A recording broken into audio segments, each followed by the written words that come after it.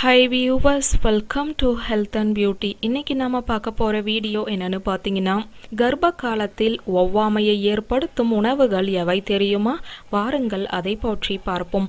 கர்ப்பிணி பெண்கள் எப்போதும் ஒரு உணவை சாப்பிட்டு அதை தன் உடல் ஏற்றுக்கொள்ளாவிட்டால் உடனடியாக தவிர்த்து விட வேண்டியது நல்லது.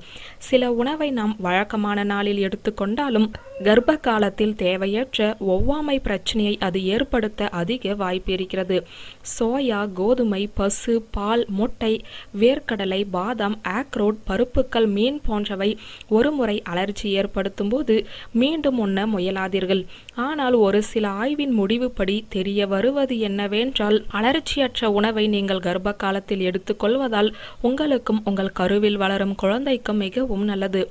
கர்ப்ப காலத்தில் எந்த வகையான உணவுகள் என்ன பலனை தருகிறது? நச்சுக்கள் அடங்கிய உணவுகள் எவை? அவற்றை நாம் எவ்வளவு சாப்பிடுவதன் மூலம் உங்களுக்கும் உங்கள் கருவில் இருக்கும் குழந்தைக்கும் நல்லது போன்ற பல விஷயங்களை பற்றி அறிவது அவசியம். இயற்கையை பாட்டிலிலும் பிளாஸ்டிக் கவரிலும் அடைத்து வைத்து பதப்படுத்தப்பட்ட உணவை உண்ணுவதில் எந்தவித பயனும் இல்லை. கர்ப்பிணிகளுக்கு பால் அவசியமானது. கால்சியம் பற்றாக்குறையை சரி செய்ய எல்லோருக்கும் பால் குடிக்கச் சொல்லி பரிந்துரைப்பார்கள் மருத்துவர்கள். பதப்படுத்தப்படாத பால் மற்றும் பால் பொருட்களை உபயோகிப்பது கிருமி தொற்றுகளுக்கும் அவை ஏற்படுத்துகிற நோய்களுக்கும் வழிவகுக்கும். பாலை எப்போதும் நன்றாக காய்ச்சியே குடிக்க வேண்டும்.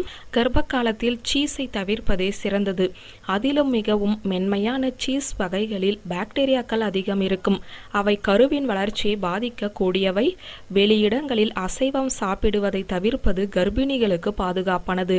வீட்டில் செய்கிற போதும் முழுமையாக சமைக்கப்பட்டவையா என பார்த்து சாப்பிட வேண்டும்.